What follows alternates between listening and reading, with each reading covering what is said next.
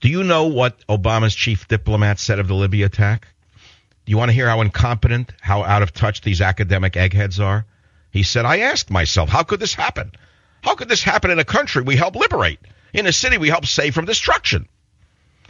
These are academic fanatics, left wing fanatics who don't know the world that they live in. They engineered getting elected. They put in the most incompetent president in American history, the most divisive, incompetent, despotic, unconstitutional in history. Constitutional experts call Obama's abuse of power historic. I won't go into the details. The man is a mini dictator. And if he's not controlled, he'll become a full blown dictator.